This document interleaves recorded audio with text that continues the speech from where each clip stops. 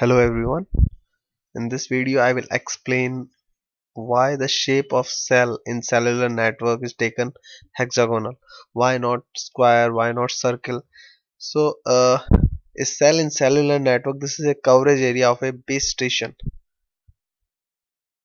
So uh, if there is a large area so that area actually not covered by a single base station a number of base station will be installed in that area and every station will be covering a particular area of that large area. And that area the coverage area of that station is known as shape. Now there are some criteria for shape of cell. Uh, so there are three criteria. First one area without overlap. In case if there are multiple cells so area must not be overlapped. Second one is geometric shape. So shape of a cell can be a geometric like circle triangle rectangle square. And third is area of cell. How much area covered by that shape? So let's con consider. So we are having these four geometric shapes. Now all these four are uh, satisfying geometric shape condition now we will see area overlap.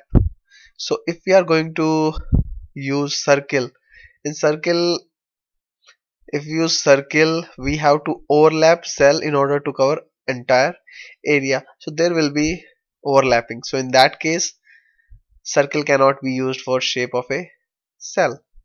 And in case of triangle hexagonal and square there is no overlapping. So all these are geometric except circle all they are no overlapping. Now the third criteria is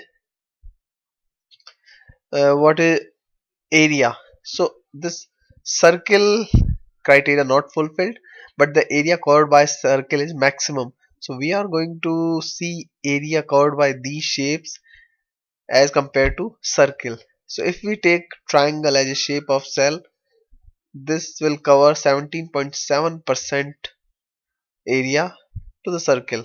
If we will take hexagonal it will cover 83% and if we will take square it will cover 63.7 so in this case hexagonal shape will win. So this shape is geometric no overlapping plus it is covering maximum area. That's why shape of cell is hexagonal. Thank you very much for watching